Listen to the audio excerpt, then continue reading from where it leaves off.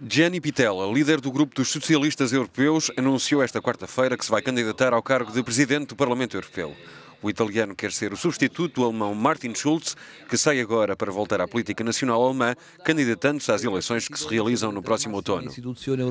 Os três presidentes das três principais instituições europeias não podem vir do Partido Popular. Um dos três deve ser entregue aos socialistas. Partindo desta base, vamos estudar as convergências possíveis e vamos trabalhar com as formações políticas que partilham das nossas ideias.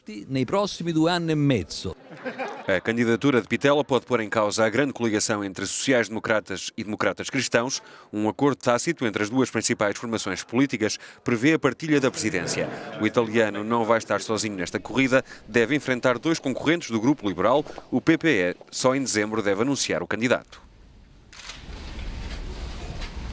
O correspondente da Euronews em Bruxelas lembra que, ao que tudo indica, houve intervenções muito fortes na reunião do grupo dos socialistas e os deputados mostraram-se unidos. Se não ficarem com a presidência do Parlamento Europeu, vão começar uma batalha política contra a direita no Parlamento, mas também fora, nas outras instituições europeias.